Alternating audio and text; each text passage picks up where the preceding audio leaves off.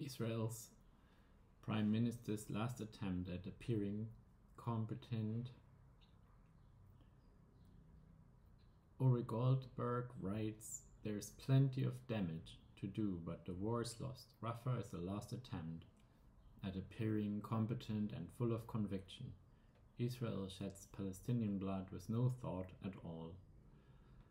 I have seen the Israeli military and political machine falter before on the verge of being forced to end past wars.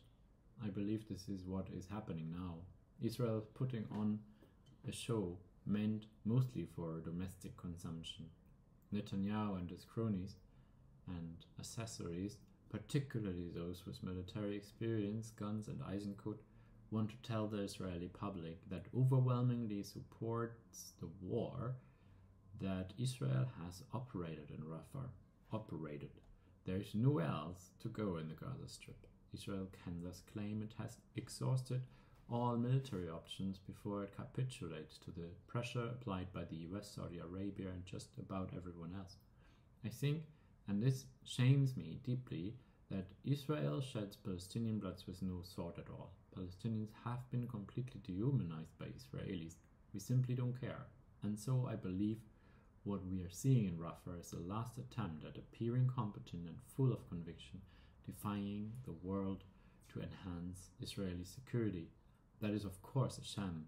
I base my assessment also on the minimal resistance Israel has encountered in Rafah. Hamas has no reason to fight. Having made its strategic decision, Hamas has opted for a deal. It controls the narrative, forcing Israel to react. Hamas has nothing to gain from fighting, so it doesn't fight. No fixation on the murder of Jews, just common sense. In his own mind, Israel cannot appear weak, as acceptance of a deal has been spun as surrendering here by the Prime Minister and his government. Had Israel initiated a deal earlier, it would have been less painful now, so Israel will buck and shudder, but awareness is seeping in all sorts of things suddenly make Israeli headlines now, most prominently issues of personal appointments and official reviews of the war. This is to be expected when the end is in sight. Remember also that Israel will be celebrating Independence Day next Tuesday. Netanyahu wants to appear valiant and focused. He's procrastinating, bobbing, and weaving.